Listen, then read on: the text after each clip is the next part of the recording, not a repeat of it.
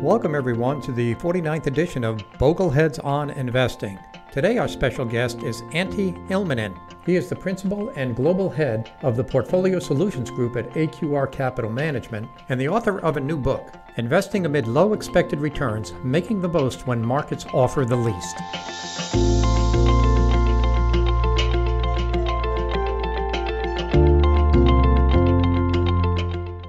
Hi, everyone. My name is Rick Ferri, and I'm the host of Bogleheads on Investing. This episode, as with all episodes, is brought to you by the John C. Bogle Center for Financial Literacy, a 501c3 nonprofit organization dedicated to helping people make better financial decisions. Visit our newly designed website at boglecenter.net to find valuable information and to make a tax deductible contribution.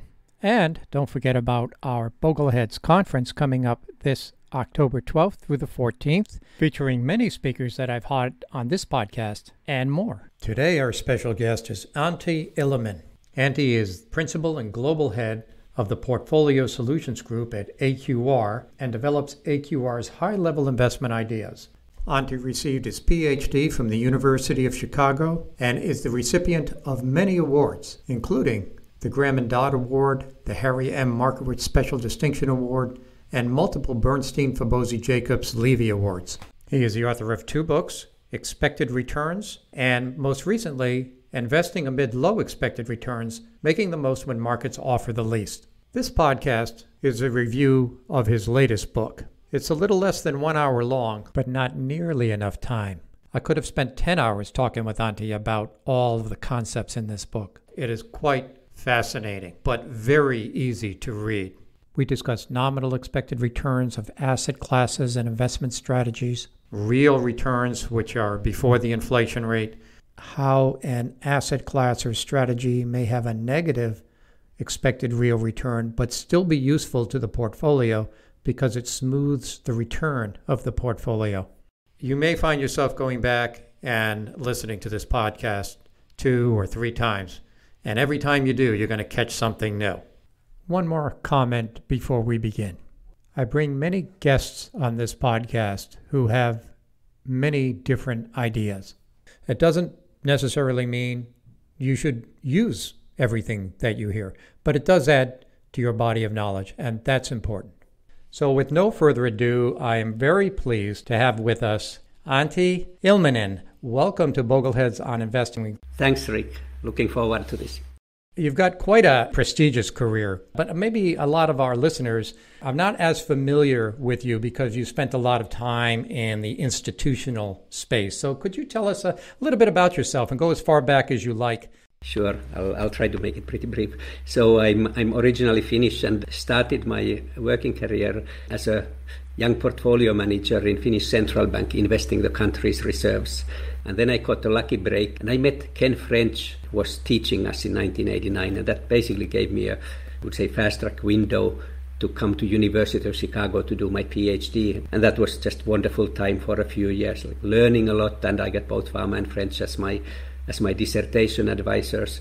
Got to know my future colleagues at AQR, my wife as well. So just just just wonderful. Wherever you meet your wife is like your your your life has changed. Yeah, Absolutely. And well, she happens to be German, and that's why I am talking from Germany now. And so I've, I've always had an international role, but, but uh, German home base then for her.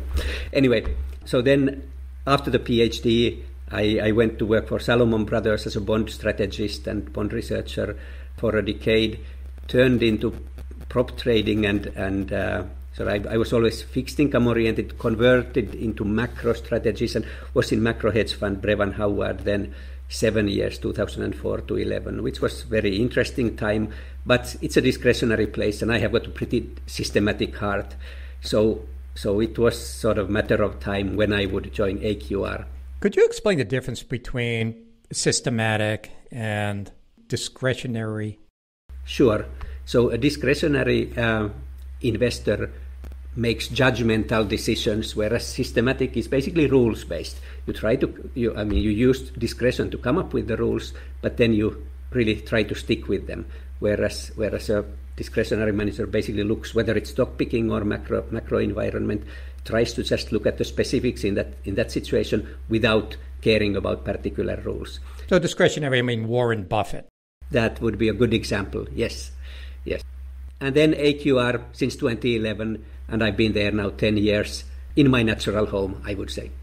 You did your PhD at the University of Chicago, and your dissertation advisors were both Gene Fama and Ken French, correct? Yes, yeah, no. Uh, source of pride, yes. And also, I was reading in your book that when Gene Fama won the uh, Nobel Prize, you were in Stockholm and you were there when he accepted it.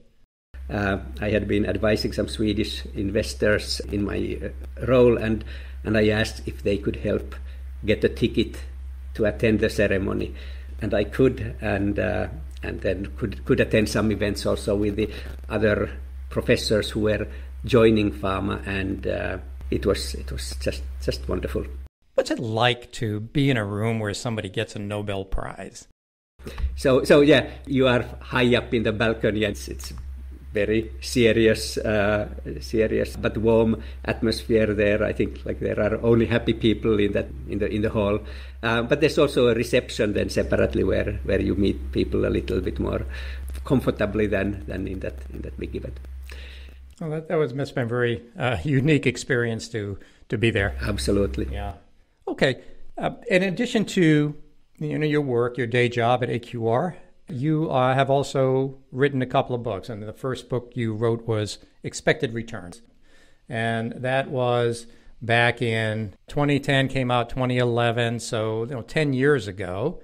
And what was the reasoning for doing that book?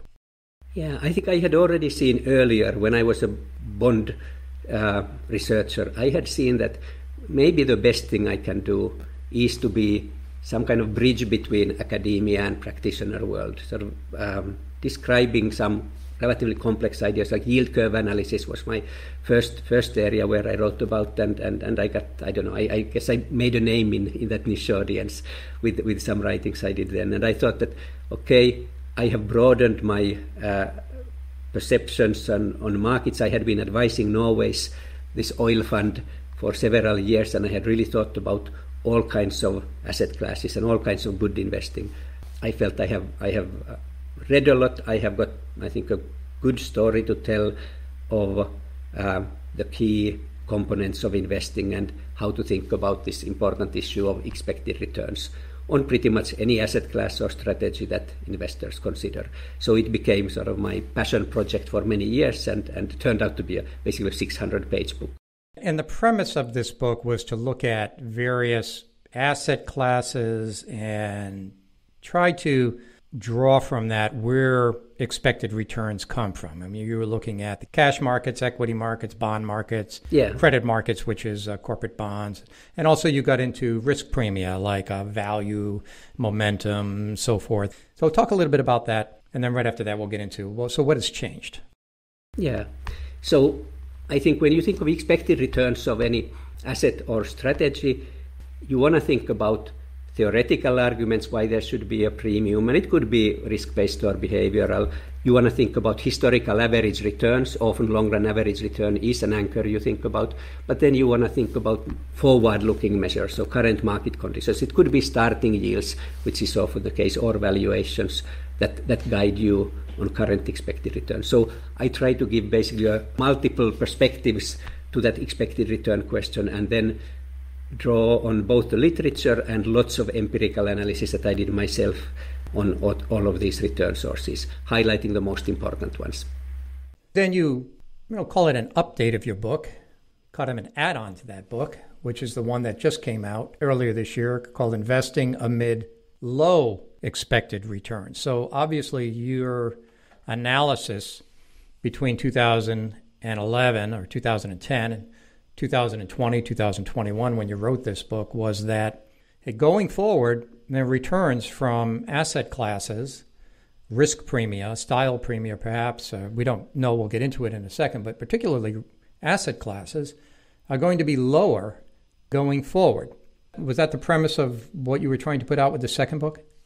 Yeah, yeah. Like you said, first partly an update. I did feel like the world had changed somewhat and there was new research, But especially, I had this feeling that this question on low expected returns on major investments is almost like a generational challenge that has been underappreciated, partly because realized returns have been quite benign. So, in some sense, the key thesis I have there is that lower and lower bond yields in recent decades, including the last one, have been helping all other assets get to lower starting yields. And low, those low starting yields, which you can also think of high valuations, they basically promise us low future returns. We don't know quite when, whether it's going to be fast or slow, but that challenge is there.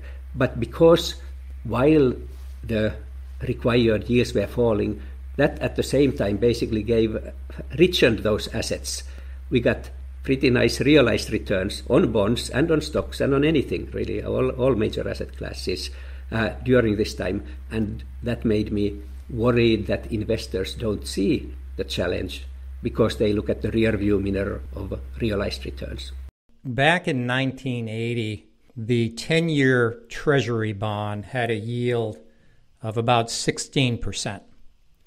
And 20 years later, 2020, it was less than 1%. So this fall of interest rates from 16 to less than 1 on a 10 year Treasury, and also of rapid decline fairly similar, in fact, probably larger, on T bills, which is considered the risk free rate. This caused a very large excess return among asset classes, stocks, bonds, real estate, over a 40 year period of time. And as a baby boomer, I mean, this has been great, right? We have really benefited. But that has ended. And now we're back to reality. Yeah, that's the key theme. And while I say this is not only bonds, it's all asset classes, but it emanates from bonds. And just to show the parallel there to other asset classes, if we take the discount rate for equities, like a simple way of thinking of the equity market's discount rate would be to look at the Shiller earnings yield. So the, this is the inverse of the CAPE ratio. One can think of that as, as the discount rate for S&P 500 and that was basically 10% 40 years ago and then it came down to 3% and that, that gave very nice returns as, as, as the repricing happened but prospectively that sort of guarantees us uh, problems for the future and I think a good way of thinking of this situation is that all asset classes whether we talk of bond stocks or housing you can think of them as basically priced through estimating expected future cash flows and discounting them by your common discount rate, which would be this, let's say, real treasury yield, and then some asset specific premia.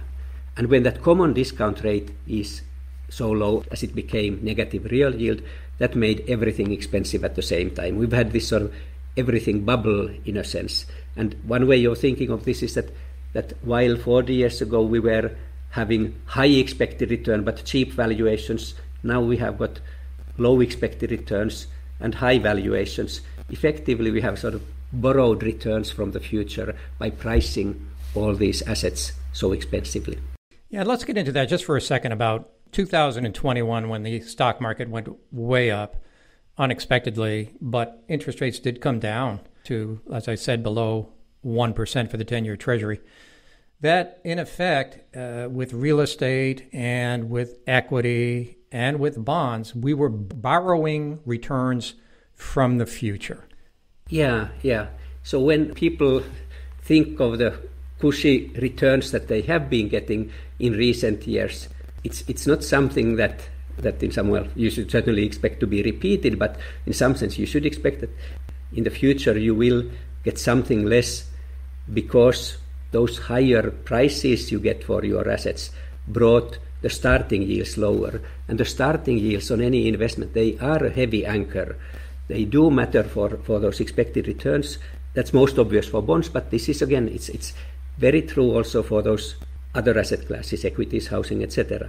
And so I do not know whether the low expected returns will materialize through what I call the slow pain of staying in this world of high valuations and low starting yields, where, where we just clip ever smaller coupons and dividends rents, or whether we get a repricing which now has happened in 2022. That I call the fast pain. So I, I said sort of pretty, pretty uh, uh, unhappily told that we can sort of expect that it's going to be either a slow pain or fast pain or some combination of those two. It turns out that we got quite a bit of fast pain this year, but I, not enough, it turns out, that it would have solved the problem.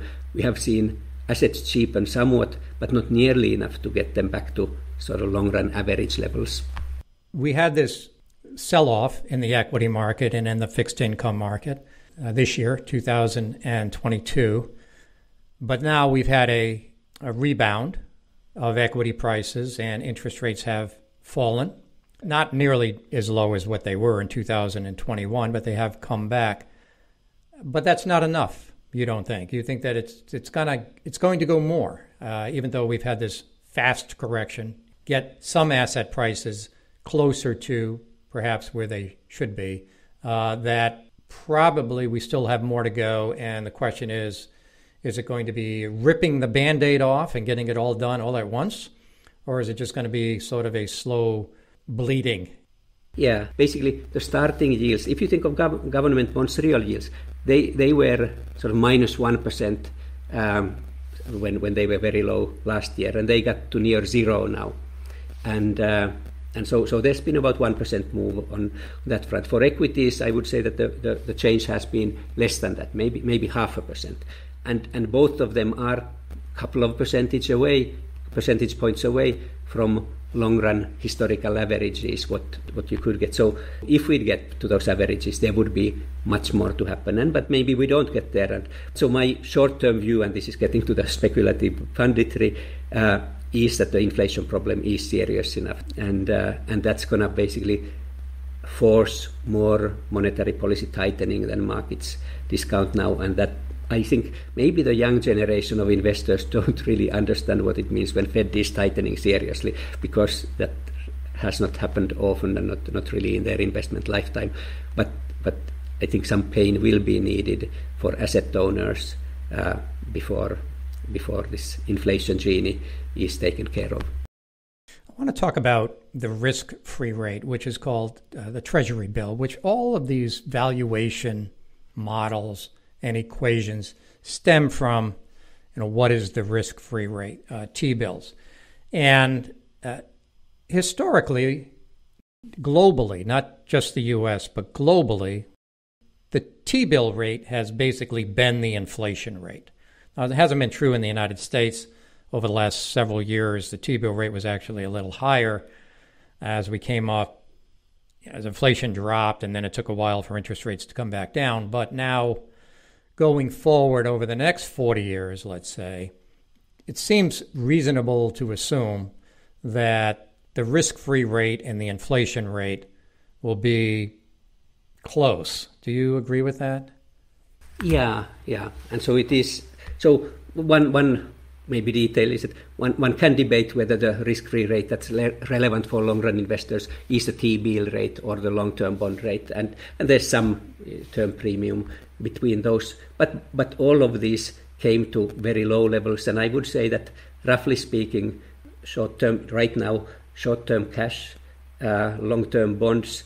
Expected 10 year inflation, they are sort of similar level, near a little under 3% or so. So let's then move to equities. So equities have an expected real risk premia over the risk free rate. Uh, historically, uh, in the US, it's been higher than it has globally. Globally, it's been about 5%, but in the US, it's been higher, over, over 6%.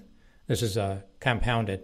Can we reasonably expect globally that it should continue to be 5%?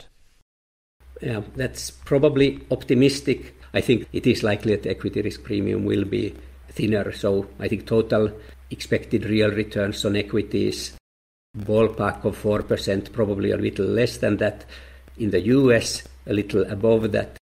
Outside the US, and then you can you can add the uh, expected inflation on top of that to get a total return estimate.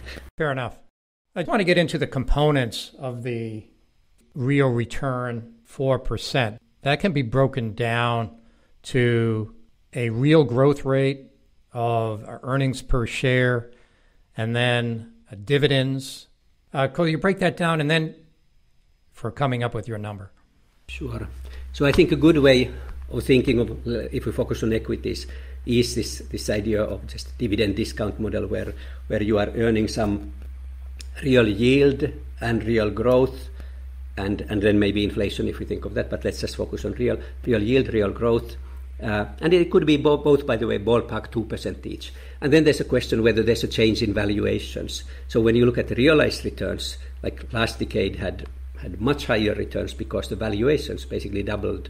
Um, Shiller PE went from 20 to 40, so so realized returns were were much more. But sort of roughly four percent expected return, half half from uh, from real compound growth and half from starting yield. And you can think of dividend yield and a little bit from net buybacks. Those are the components. How does that all work into a global GDP growth? Equity market returns, so they are they are higher than than what you get uh, on GDP growth, which has been typically two to two and a half percent or something like that. Partly because equity is sort of a levered exposure to economic growth. There's there's that nice intuition there, um, but that doesn't mean that there's a tight correlation between economic G, so GDP growth and equity returns it turns out that there's almost zero correlation. So this is one of these things I highlight in the in the book that when you look at these numbers in the US over, over time or you compare across countries, you find very modest relations between GDP growth and, uh, and equity returns, even though we intuitively think that equities are sort of participation in the real economy. And I read that, and I, understand on a country by country basis, you can't say GDP growth is this, therefore earnings per share growth is that. Therefore, you take some multiple, and therefore, this is what the price of the stock market should be. On a, on a country by country basis, I understand that. But globally, you know, looking at global GDP growth, isn't it more highly correlated, the global equity market, to global GDP growth? Contemporaneously, there's almost nothing. But, but equity markets tend to predict next year's growth. So that way you do get you do get something. And I think there it is it is true. And cert- certainly when equity markets are predicting next year recession, then then you have got low returns. So so yeah, I think that correlation becomes when you take not looking at monthly returns, but you look at let's say annual returns, and in a forward-looking sense, you do find some decent relation. And so the intuition, I think, is right that equity equity returns are both somehow participation in global growth and they are vulnerable to any hiccups or, or something more serious to that uh, global growth. And that's the big risk then in equity markets. So the real expected return of equity using the simple model of a 2% uh, dividend yield or earning dividend yield, real uh, and uh, 2% real growth comes out to 4%. And then you add on to that your uh, inflation number, and now you come up with, well, if you're going to use the Fed's inflation number of 2%, then you're at about a 6% nominal long term expected return for equity. Is this a reasonable number to plan for? Good numbers, yeah. Yeah, I, I think so. I think it's a good point estimate, but then, then we have to sort of recognize that we can debate each of those 2% numbers, numbers okay. however, however much. And so, so fair sort of humility or sense of uncertainty around them, but, but as point estimates, that's, that's, that's what I would, I would use. So that's one side of the equation, right? They, we're talking about a 60 40 portfolio, a 60% equity, 40% fixed income as an example. Now we've got to go to the fixed income side. So we have an expected long term return on equities of 6% nominally, 4% real. Now we go to the fixed income side, and we've got choices there between treasury bonds and corporate bonds. So let's start out with treasury bonds, uh, intermediate term treasury bonds. There has been a, a, a premium paid for going out on the yield curve to the 10 year mark where you've picked up more than just the inflation rate. And though we, we have agreed that T bills in the US have yielded a little bit more than inflation. But let's say going forward that T bills are going to give us inflation. So now inflation plus something for treasury bonds for longer term, say 10 year treasuries. I mean, what historically, what's it been, and, and what do you think it might be going forward? Yeah.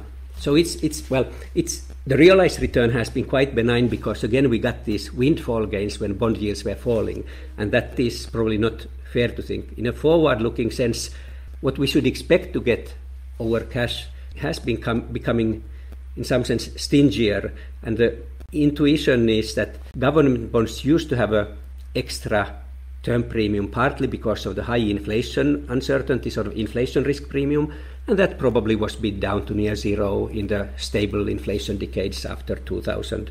And then government bonds further turned into a safe haven asset when stock bond correlation turned negative.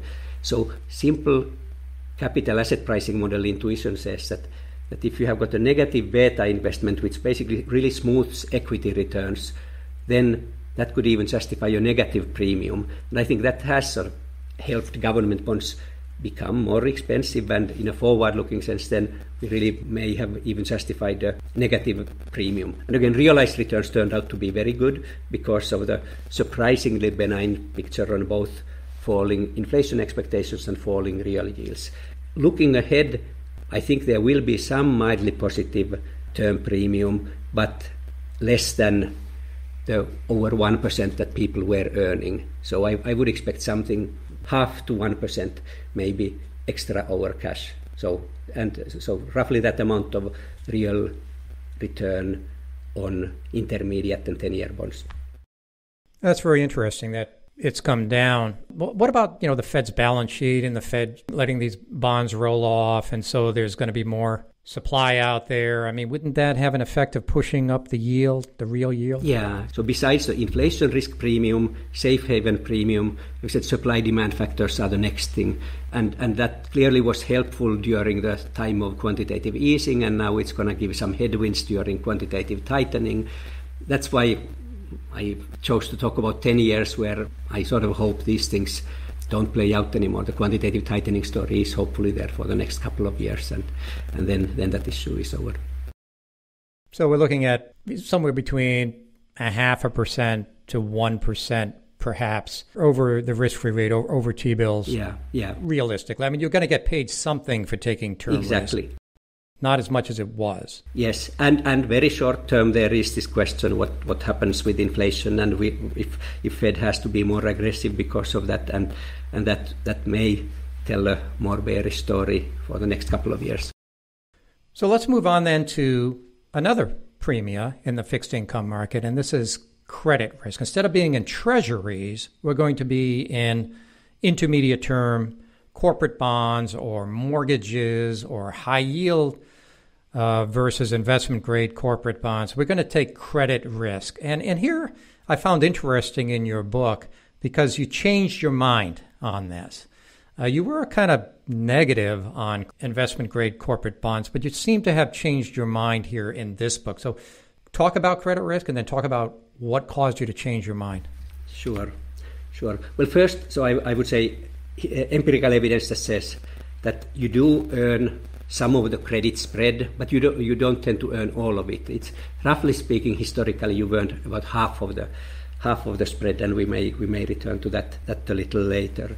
Uh, but then there's a question like, are credits worth including? When they have an odd blend between government bonds and equities, and it, it might be that they are sort of a superfluous asset there. Uh, and I was leaning towards this idea in my first book that maybe you really don't need them.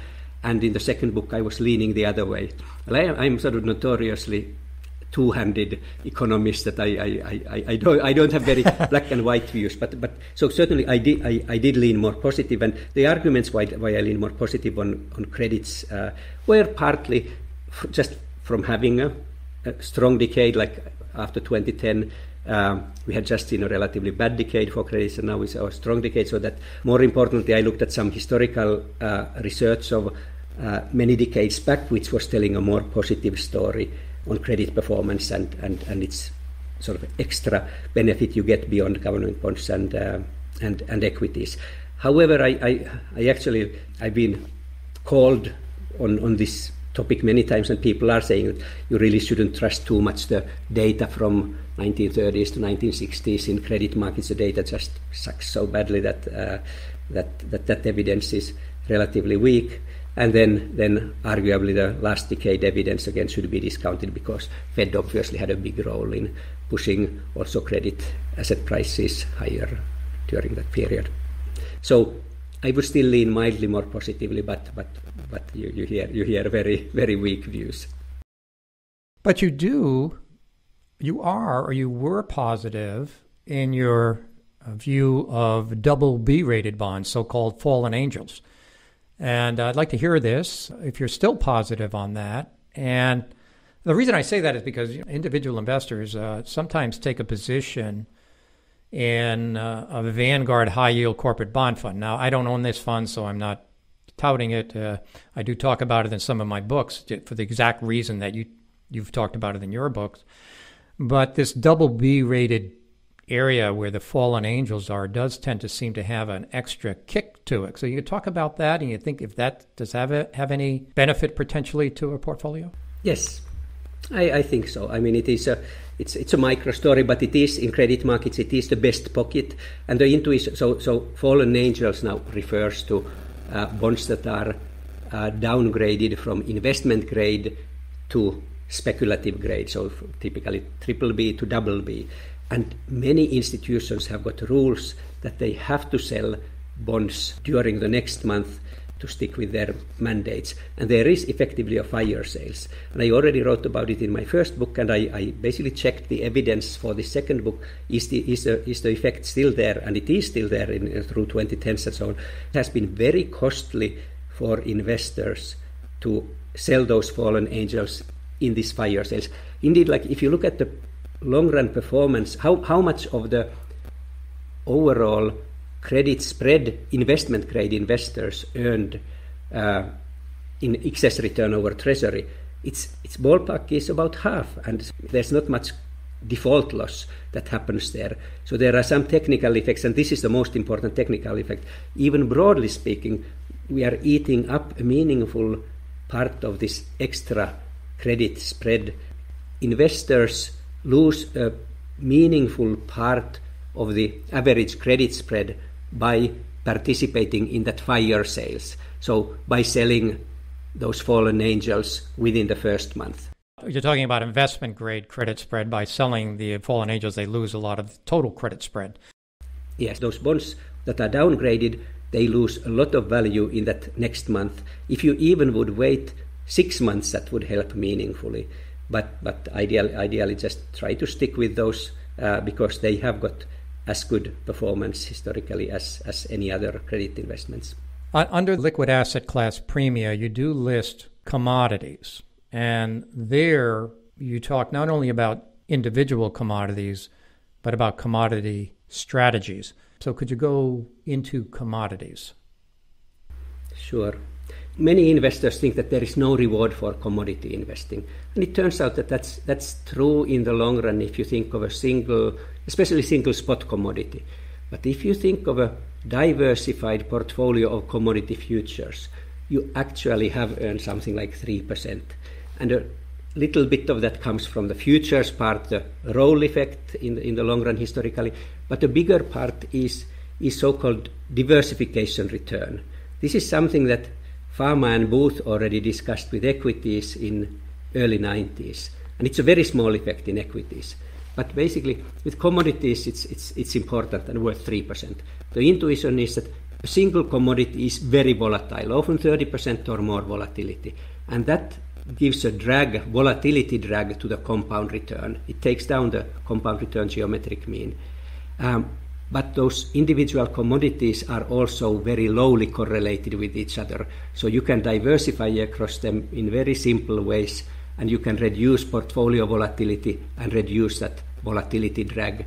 And that gets the average return from typical single commodity zero over cash to about 3% over cash, just thanks to this effect that you are reducing portfolio volatility. I'm going to push back a little bit here. Please.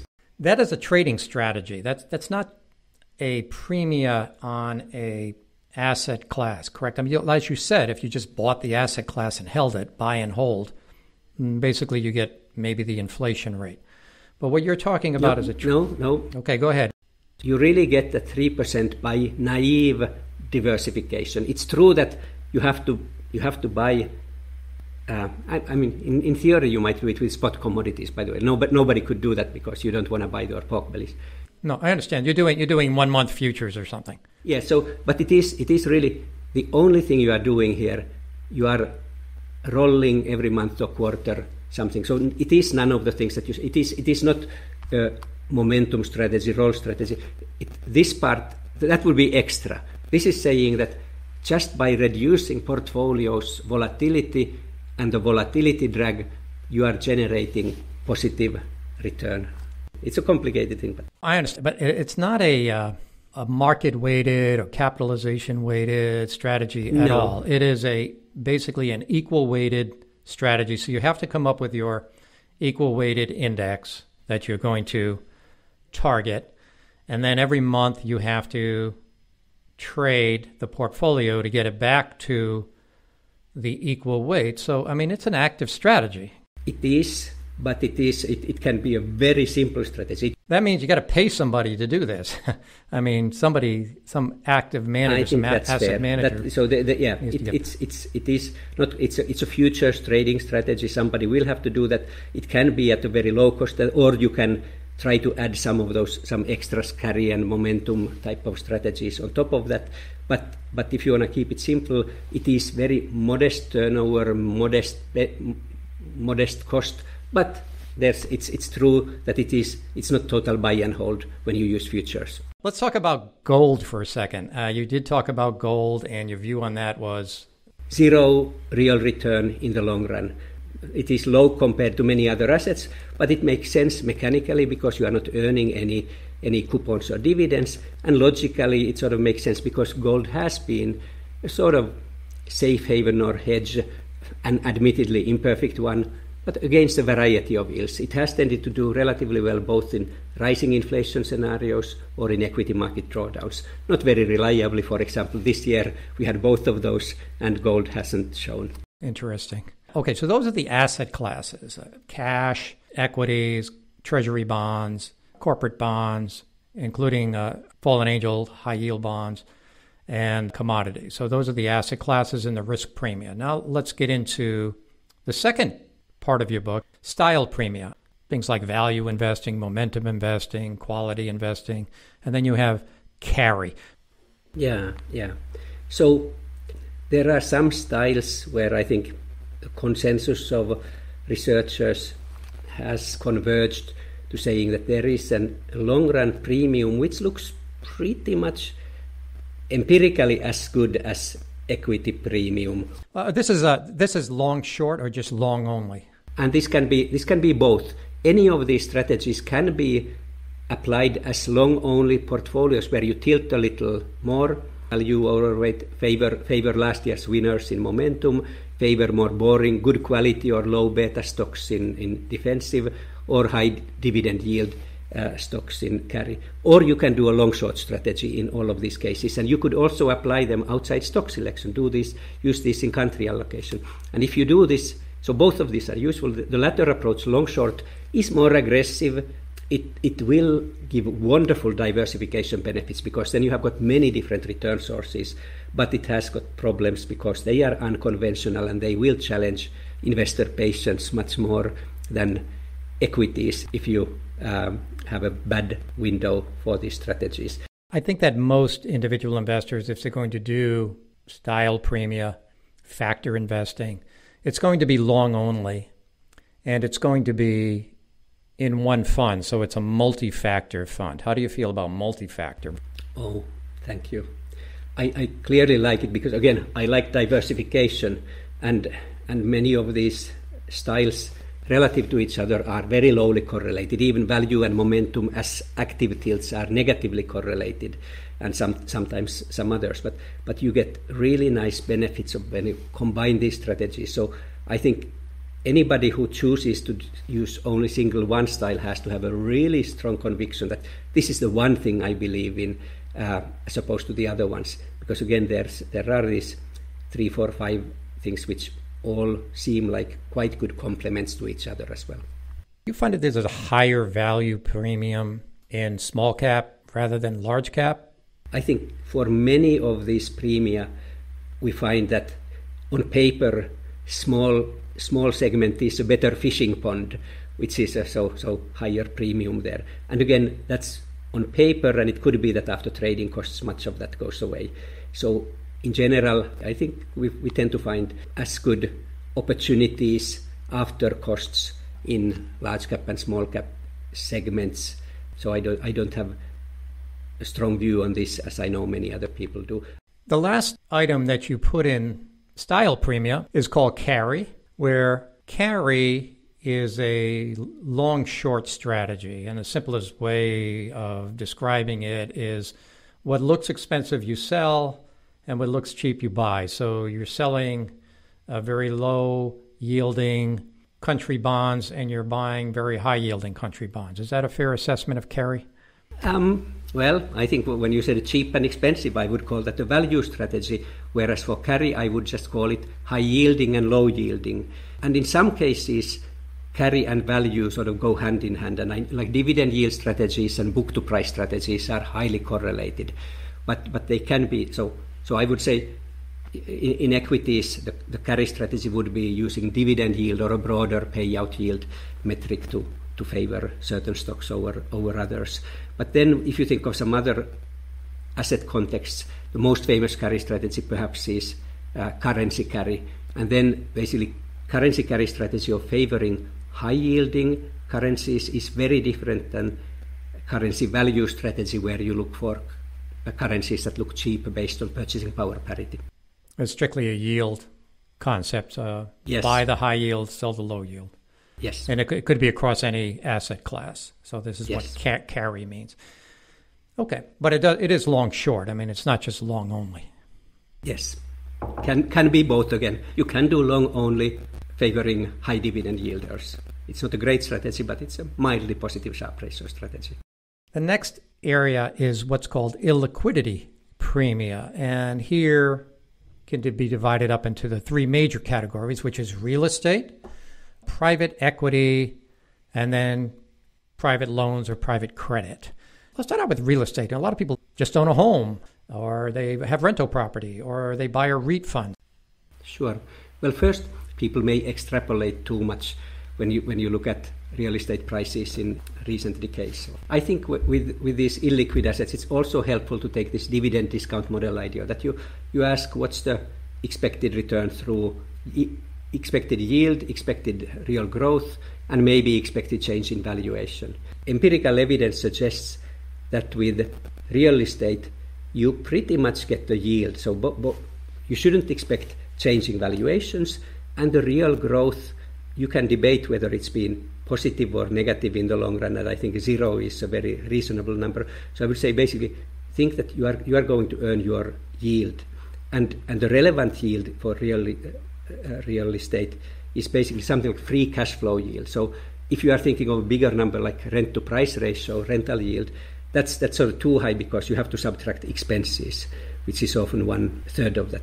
So my reading is if there's four percent uh, rental yield nowadays, then then you get something like two and a half percent expected real return, more than bonds but less than equities. And the intuition is that you don't get any real growth. And give me your views on REITs. Sure. Lots of thinking about illiquidity premia because, like I sometimes say, illiquidity premia are overrated. And one intuition just is that people really like the smoothing feature. That it's it's sort of painful to lock your money for a long time, but it's really nice to get the lack of mark to market. And those two features could offset each other. And so, one place where you can measure illiquidity premia arguably pretty well is in the real estate, where you compare listed REITs to direct real estate, which is much less liquid. And it turns out that when you look at this pretty long history, we've got 45 years of data in the US, we find that actually there's been inverse illiquidity premium. REITs have outperformed. And then the counter argument will be that they are not really comparable, that REITs have got lots of beta and leverage. And, and it's true that when researchers have adjusted for those beta and leverage differences, you get some of that negative illiquidity premium away, but you never get a positive illiquidity premium in any analysis that I've seen. So again, the evidence is very modest on the idea that there are great illiquidity premia in private assets. That's very interesting. And the other two, which I don't really want to spend that much time on, is private equity and private credit. Most individual investors really don't have access to good yeah. private equity. They are recently they are sort of institutional favorites, but I think that institutions tend to be over optimistic on them, and partly they really like the smoothing feature, but also I think they have got higher expectations. I think it, it because of this growing investor interest in that space, I think even if there was an extra return, I think much of that has been bid down. And again, another logic is that, is, is that the smoothing has taken it down. So I think it's, it's, it's a pretty reasonable thing to think that you get pretty similar returns from private equity as public equity, after all fees, which are much higher in private equity, and likewise private credit versus public credit net returns could be very similar on both sides. So I don't think investors are missing much by not having access to this. But there are lots of dream sellers out there who tell a different story. well, let's talk about the uh, active managers and, and alpha, which is uh, the fourth category that you have. And there we've got uh, managers that are trying to pick pick stocks, uh, not systematic, but trying to pick stocks. And uh, talk about alpha, alpha decay. You know, should should investors be seeking alpha? Yeah, I mean that is that's the holy grail, which is so uh, lovely but so elusive. And I think it's it's good to be realistic about it and expect very little on that. Obviously, there's a lot of marketing for it, and there is to be to be clear, there is some evidence. You know, mutual fund evidence is not good on uh, managers generally providing net positive alpha. But, but institutional managers, hedge funds, private equity may have collectively outperformed. But, but that's again, it has come down. You mentioned this concept of alpha decay, that evidence from more recent data is questioning even that whether there is there has been net outperformance. Obviously, some managers will outperform, and then you can question whether it's been luck or skill and so on. And this is one of these eternal debates. And yet, it is interesting that so many investors still like to do either own active investing or traditional active managers and pay decent fees and that is somehow telling of the both marketing success and overconfidence that we have. So that's the technical side of your book but then you have a whole different side of the book. It had to do with behavior and being patient and sustaining a conviction. And so could you talk about why you wrote this side of the book and the main points on what you were trying to get across. Yeah, I think if I, if I have to pick one sort of bad habit from investors, it tends to be related to impatience. And you can also think a flip side of that can be chasing last three to five year returns and capitulating after three to five bad years. But basically, statistical evidence after a few years is very weak. It could be that if somebody has got uh, very good or very bad performance, it is more likely to be random luck than than really sign of some wonderful skill. And and so investors chasing those returns and being impatient after bad returns is a very costly tendency. And I try to then highlight, be more specific, what could be the costs. And they include things like you may miss out on long run returns. Could be equity premium, could be any of these other premium where you get a disappointing draw and you leave that strategy, you will miss out on the long run premium. Opportunity cost? Yeah, yeah, yeah. So that's opportunity cost indeed. And then there's the actual cost, basically trading out of those positions and, and uh, all kinds of friction from, from related trading.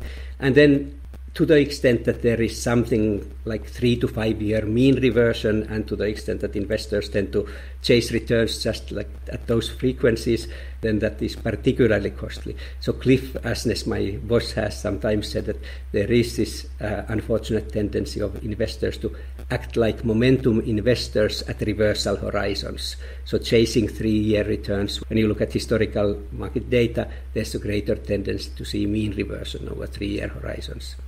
So all of those possible costs are there. And so my goal then is to highlight the costs and then discuss ways if investors buy the idea that patience is good, it's a virtue, it will make give better long run results, what kind of strategies you can use to make yourself more patient, cultivate personal or organizational patience. So, discipline tools is what you talked about education, mm-hmm. uh, review broadly and infrequently, make a bigger organizational commitment. And I, I, put in parentheses the Bogleheads. In other words, just keep going to the Boglehead site to remind yourself. yeah. Uh, move slowly into new ideas. Yeah. Avoid complexity. Yeah. And a few others as well. Yeah, yeah. And I think anything that enhances patience tends to be good. So, equities are forgiven a bad decade or at least a bad few years.